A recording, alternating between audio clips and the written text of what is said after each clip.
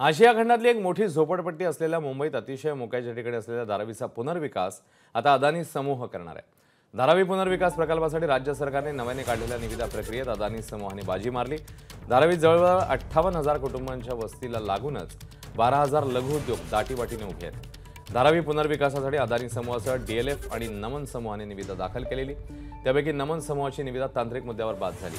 अदानी समूहाने निविदेत पाच हजार एकोणसत्तर कोटी रुपयांची बोली लावलेली तर डीएलएफ कंपनीने दोन हजार पंचवीस कोटी रुपयांची बोली लावलेली होती